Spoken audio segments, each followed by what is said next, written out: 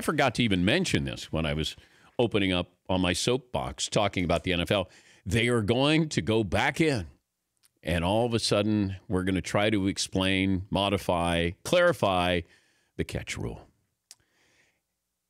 If they add more language to this, I'm going to scream.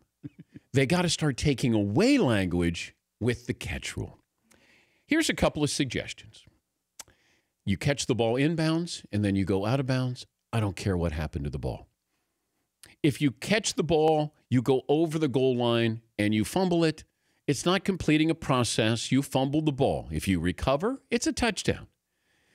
Now, I, I'm maybe I'm in the minority. Dez Bryant's catch, and I call it a catch at Lambeau. Jesse James catch in Pittsburgh, caught it, went to his knees, tried to score, fumbled, recovered, touchdown.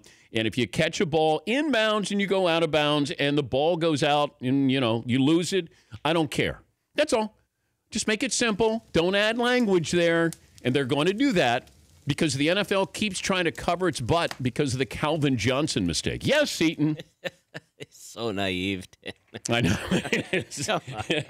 You're right. You fool. Yeah, I What a know. fool. I know. I know. Let's bring in Mike Florio. He can set me straight here. Hi, Mike. How are you today? I'm doing great, Dan. How are you? Okay. What do you think of my uh, my catch rule? The modifications here. Let's not Look, add yeah, any so more they're- language.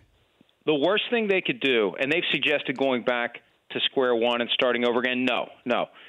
Minor tweaks are all you need. And what you're saying, absolutely right. The boundaries get treated differently. The goal line gets treated differently. And I would add one thing to what you said. If you catch the ball and break the plane, it's not a fumble at that point. It's a touchdown. If you lose possession once the ball touches the front end of the goal line, play's over. I'm fine with that. Yeah. That's that's what it should be.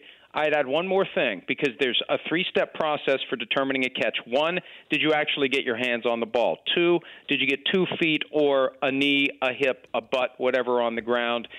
And three, did you have the ball long enough to clearly become a runner? That third part should not be subject to replay review ever. It should be judgment of the officials discretionary call, just like pass interference. You don't go back and go frame by frame in 1080i with every little grain and buzz the ball. No, let the ruling on the field stand because that would overturn the Dez Bryant debacle. That would have made Jesse James catch a touchdown. If they just make element three not subject to replay review, 99.9% of these problems get fixed. For more Dan Patrick Show, tune to Audience Channel 239 on DirecTV or download the Dan Patrick Show app.